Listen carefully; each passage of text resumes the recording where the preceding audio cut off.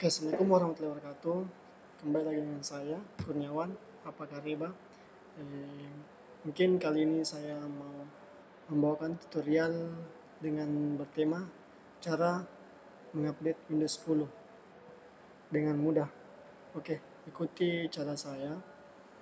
Oh, sebelum itu saya memohon kepada kalian atau meminta kepada kalian kalau video ini kalau video ini bermanfaat bagi kalian, tolong subscribe untuk subscribe sendiri, sendirilah saya bisa eh, menampilkan karya-karya atau menambah karya-karya saya di dalam tutorial kali ini.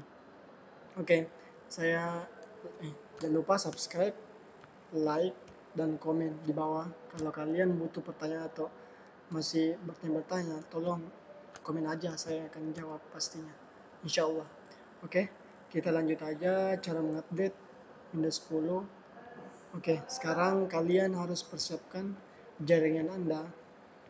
Kalian harus mempersiapkan jaringan anda yang lumayan kencang. Kalau bisa sih di WiFi ID atau pakai LAN LAN kabel.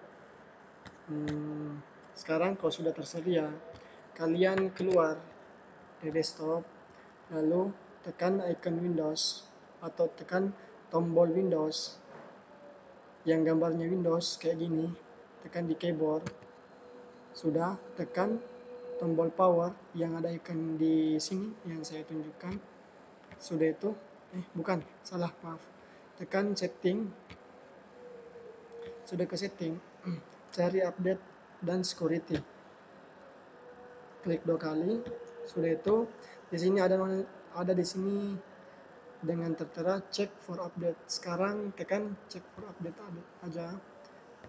Sampai dia berproses sampai selesai dia berproses.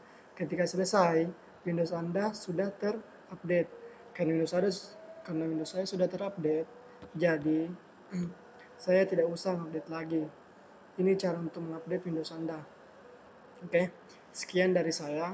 Kalau ada pertanyaan atau kekurangan atau pengen tahu tentang teknologi atau cara-cara menginstal atau apa pun itu just buat hmm, di ranah keilmuan saya tentang teknologi boleh kalian komen-komen di bawah. Oke sekian dari saya. Tolong bisa di subscribe like dan komen video saya kali ini. Wabillahi taufiq wal hidayah. Assalamualaikum warahmatullahi wabarakatuh. Salam.